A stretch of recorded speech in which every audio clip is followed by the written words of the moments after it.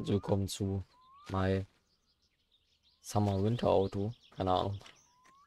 Zu My Winter Car, aber nicht das offizielle. Also, eine Mod.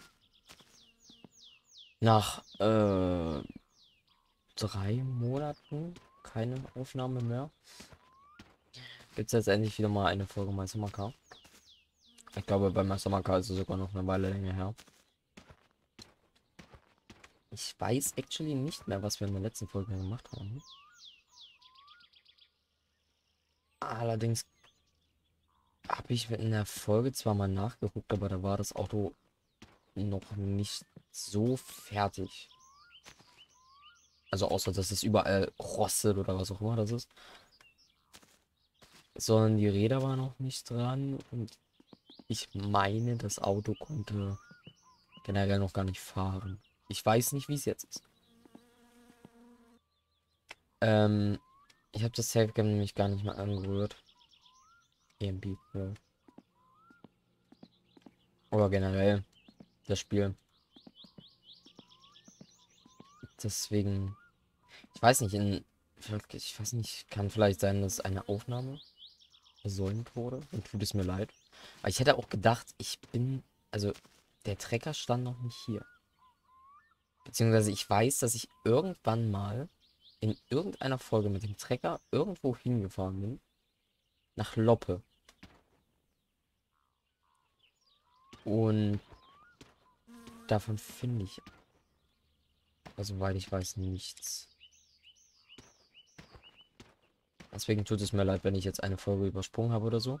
Jedenfalls, wie ihr sehen könnt, das Auto hat Räder. Neue. Aber ich glaube, ich weiß noch nicht, ob der anspringt. Wir können es ja mal probieren. Probieren geht über Studieren. Jetzt aber. Los. Kleiner. Kleiner. Oha. Er läuft. Okay, das klingt actually nicht wirklich gesund. Aber er läuft. Dann lassen wir den mal ein bisschen warm laufen. Also ich glaube, wenn das die Batterie ist, dann habe ich, glaube ich, in der letzten Folge die Batterie gewechselt. Ich glaube, den Ölfilter hatte ich gewechselt. Zündkerzen rein. Räder drauf. Was habe ich noch gemacht? Ach so, den Keilring. Zündkerzen, Batterie, Keilriemen und Räder. Mehr habe ich eigentlich nicht. Aber das Ding ist definitiv noch nicht TÜV geprüft. Beziehungsweise auch noch nicht TÜV prüfbar. Ich staune bloß, dass der schon so rund läuft. Bin erstaunt. Aber deswegen fahren wir den jetzt einfach mal. Okay. Deswegen fahren wir den, denke ich, jetzt einfach mal in die Werkstatt, in die Garage rein.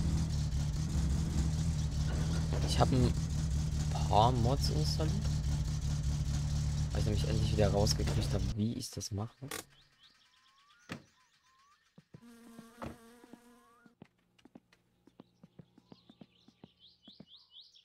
Hm. Ich bin erstaunt über das, was geschafft wurde. Und hier unten liegt ein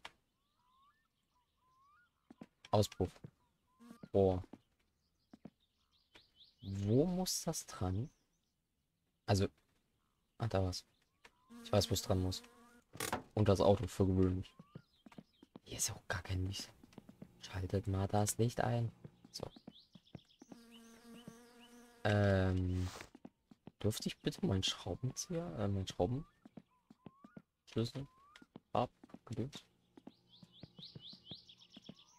Wenn ich hier wüsste, wo es ist. Okay, ich hab's gefunden. Äh, so, Spanner-Set. Ich meine, ich habe auch eine Mod dazu, dass ich dir genau die Größen anzeigen kann. Sieben.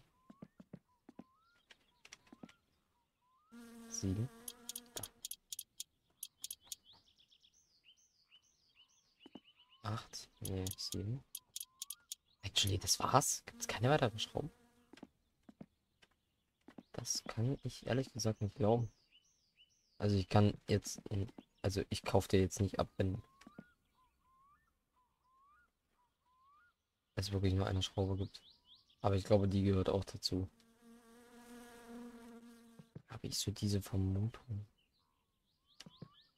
Hier ist auch noch eine. Ich glaube, dann wird das Rohr schon befestigt sein. Ja, ich glaube, das war's. Dann machen wir das Ding heute nämlich TÜV fertig. Also, die haben Radio. Das kann ich auch gerne reinmachen. Dagegen habe ich keinen So. Aber wo ist der Auspuff? Achso, der ist schon dran. Ach Gott, bin ich blöd. So, das ist vorne.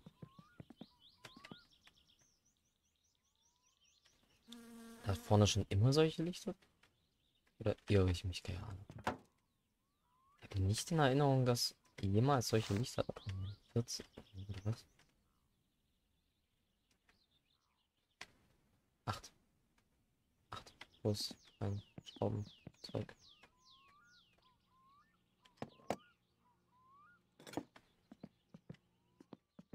Ich kann mich nicht erinnern, dass je solche waren. Ich dachte, die Stoßstange war immer Stoßstange. Also nur eine Stoßstange. Ohne jeglichen weiteren Zeug.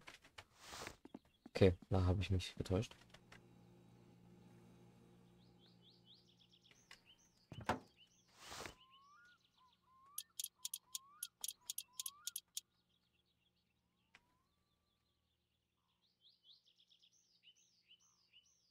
Ja, ja, ja, ja. Ha. Habe lange Arme. Jetzt Tag oder Nacht? Es wird Nacht. Äh, Tag. Ja. Das nehmen wir mal raus. Ja, wir machen jetzt was Cooleres rein. Das Ding schon immer eine Textur, war das nicht immer eine Spanplatte? Das waren drei. Auch das. Das hatte ich schon vorher im Auto. Hm, ansonsten nichts, gell? Ansonsten sieht das Ding ganz guten Zustand aus. Müssen wir das Ding noch verschrauben? Irgendwo? Scheint nicht so. Dann lassen wir es so. Ach, passt schon. Wird schon halten. Hatten wir nicht einen Helm? Ich würde mir gerne einen Helm mitnehmen. Ich nehme den Helm mit. Kann mir nicht sicher sein. Wir machen jetzt Punktmeister zu mal. Bam. Bam. Oh. Chill. Muss mich deswegen nicht gleich hochwerfen. Habe das Gefühl, dass dazu mal finde es entweder zum Hüpfen wegen Freude. Oder er findet das gar nicht toll. Ich finde es aber toll. Meister Zuma. Okay, es ist jetzt Nacht. Weiter Nacht geworden. Äh, ich habe nämlich gespeichert. Lol. Zwischengespeichert. Ich habe solche fancy Weihnachtsketten nicht daran gemacht. Finde ich actually ganz. Weil ich meine, irgendeine Beleuchtung braucht, ja. Ja, ich meine, Winter. Wir sind ja in Wintercar. Kann man das schon mal machen. Bin erstaunt, wie gut das Auto läuft. Ja. Vielleicht auch mal hochschalten. Ne? Nicht wundern, ich klinge vielleicht ein bisschen anders als in ist, wo es noch heller war. Das liegt daran, dass gerade es ist nicht unbedingt an zwei verschiedenen Tagen aufgenommen, aber es ist an äh, jedenfalls dieser Teil hier nachsynchronisiert. Ähm,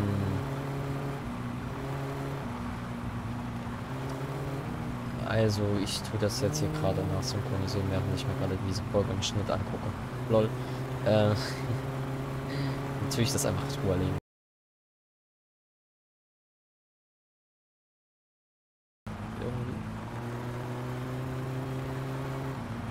Ähm. Ja. Wird dann auch interessant, die Arbeit, das dann noch zu cutten. Ähm. Weil ich irgendwie mein Audio nicht aufgenommen habe oder so. Ich habe keine Ahnung. Jedenfalls synchronisiere ich das jetzt gerade nach und deswegen kann es auch mal sein, dass ich von mir in dritten Person rede. Nicht wundern. Nein, es kommt kein Zug, du kannst rüberfahren. Ja, du kannst noch so lange warten, es kommt keiner. Aber schön, dass ihr wartet. Immer schön an Bahnübergängen, wo keine Dings ist, immer schön gucken und warten und hören. Züge tun dann meist super, denke ich. Jedenfalls damals im Spiel war das so. Ähm, gilt auch für Straßen oder ähnliches. Seid vorsichtig.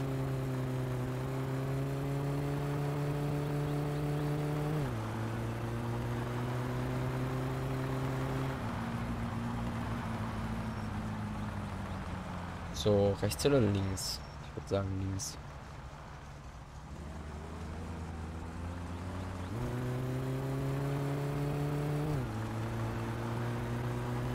Sag mal so, in der nächsten Folge könnt ihr ja dann wieder den richtigen Visier tragen. Den Originalen. Mich freut es irgendwie, dass diese Lichterkette das Spiel gar nicht zum Laggen bringt. Äh, nicht das Spiel, die Aufnahme. Weil manchmal hat das dafür gesorgt, dass es bei uns mal angefangen hat zum Laggen. Aber tut es anscheinend nicht. Das ist gut. So, Licht haben wir ganz. Als ich das herausgefunden habe, du sollst höher schalten, nicht runter. Als ich das herausgefunden habe, dachte ich mir auch so, wow. Ist halt auch geil, wenn man nachts fährt und kein Licht hat. Und das einzige Licht, was man hat, ist die Lichterkette. Die in RGB-Form leuchtet.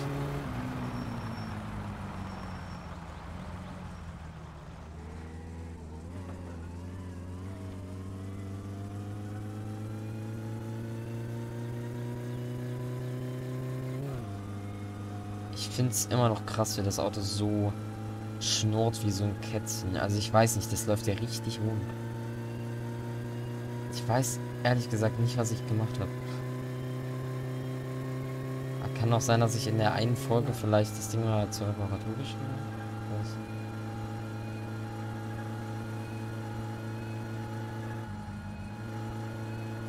Jedenfalls läuft es rund. Es wird langsam. Und ich fahre 130. So einen kleinen Datsun ist das schon. Oder Nissan oder Setsuma ist das schon eigentlich eine ganz gute Leistung. Hier habe ich übrigens das Deckenlicht gesucht. Ich habe den Kollegen vor mir dann einfach als, als Licht genommen, dass ich was sehe. Immerhin sieht man durch den Schneemann ein bisschen besser was. Das Ding ist, es gibt so einige Kurven, wenn es halt sehr dunkel ist, da muss man nach Gefühl fahren. Und das Ding ist, einige Kurven sind da sehr waghalsig, deswegen das ist jetzt nicht so geil. Aber hey. Okay, das ist locker. Das ist die Brücke. Finde ja auch cool, wie dieses Spiel so eine richtig geile Background-Story hat. Das bewundere ich so sehr an diesem Spiel. Weil ich einfach, ich, ich feiere Spiele, die so eine Background-Story Dass sie so eine Hintergrundgeschichte haben. Also, wo halt wirklich in allem, in jedem Charakter eine, irgendeine kleine Geschichte versteckt ist. So, in dem einen vielleicht mehr, in dem anderen weniger, aber es ist so. Ich glaube, jetzt habe ich mich so langsam entschieden aufzugeben gegen die Nacht, weil jetzt sieht man halt actually die Straße nicht mehr so geil.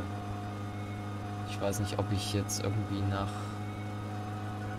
irgendwie weiter nach links ziehen muss.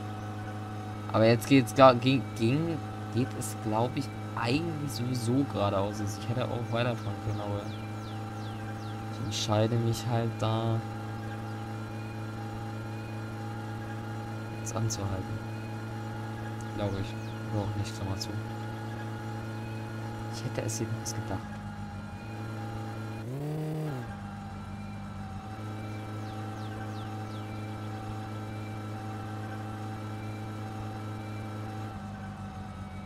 Irgendwie will ich nicht das Auto überholen. Das ist so die einzige Lichtquelle, die ich habe. Die einzige Quelle, die mir anzeigt, wo eine Kurve ist. Und ja, hier kommt, glaube ich, noch ein so eine fette Kurve. Wo es mir dann jetzt zu dunkel wird. Ja, und ich glaube, es ist so verständlich, weil ich sehe auch im Schnitt und absolut überhaupt nicht mehr, wo da jetzt die Dings ist. Deswegen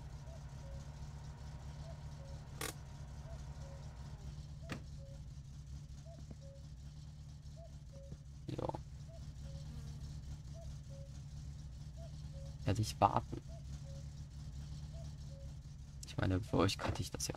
Man kann wieder weiterfahren. Das ist auch genau das, was ich tun will. Habe ich mich davor eigentlich angeschnallt? Ich weiß es nicht. Easy, schnall dich an. Schnallt euch an, wenn ihr Auto fahrt. Das ist so ein kleiner Überlebenstipp.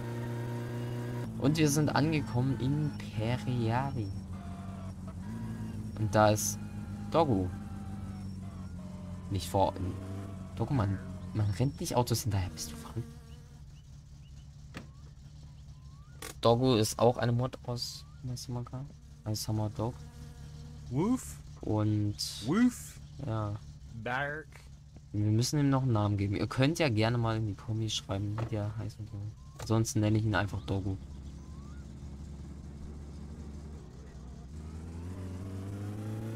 Fragt nicht, woher ich den Namen kenne. Ich habe keine Ahnung. Und wir sind angekommen in Periavi. Periavi. Woof. Genau, Ruf. Da liegt ein Moped. Das war abgewürgt. Woof. Ja, Woof. Woof. Bark. Ja, Bark. Doggo. Hast du richtig. Sorry, Doggo. Ich wollte dich nicht wegschieben. Kannst mir gerne folgen. Bark. Folgst du mir? Kannst mir gerne folgen. Doggo. Folg. Auch schön, wie er in der Luft zittert. Machst du gut, Doggo. Und da sind die zwei. Ich glaube, der eine heißt Jano und der andere heißt. Äh, ich hab keine Ahnung. Vastaa mitään. Ja. Mitä tää tulee? Tää on Romusen kanssa tänne riehumaan. Das sind jedenfalls die zwei. Ähm. Ich sag mal. Idioten im Dorf. Doggo, man teleportiert sich nicht durch Autos. Das macht man nicht. Ähm, der eine scheint aber noch netter zu sein, irgendwie aus Wuff. meiner Erinnerung. Woof. Der andere ist der. Wollte. Ja. Idiot. Und der, der, die daneben sitzt, das ist. Seine Freundin. Denke ich.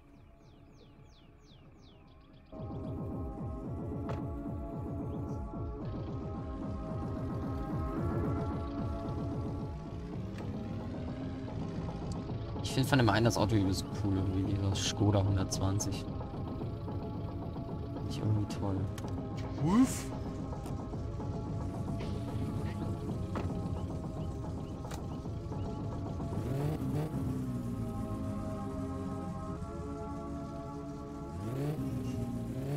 Woof. Woof. Da steht er. Und da. Boah. Jo. Alter, was war das? Und der TÜV hat zu. Na toll. Was ist das eigentlich für ein Raum? Warum steht der Van hier? Ich frage mich nichts mehr. Kann ja mal den Van irgendwo anders hinfahren oder richtig einparken oder was. Aber ey, wir haben die Schlüssel dafür. Ich bin überrascht. Oh. Alter, da steht mein Auto. Alter, wenn die jetzt mein Auto. Wenn die jetzt mein Auto geschrottet haben. Dann gibt's Ärger. Scheint aber noch da zu stehen, ist, ist ja Dogu auch. Dogu, du beschützt unser Auto. Actually, das, was, was, was genau hat das mir jetzt gebracht? Will ich es wissen? Glaube nicht. So, Tür schließen. Was ist hier drin? Keine Ahnung. Ah, ein Zettel. Steht da drauf? Online Belehrungen. Also ich weiß, dass Ninja Hey. Also Hey heißt so viel wie Hallo und Ninja heißt äh, ähm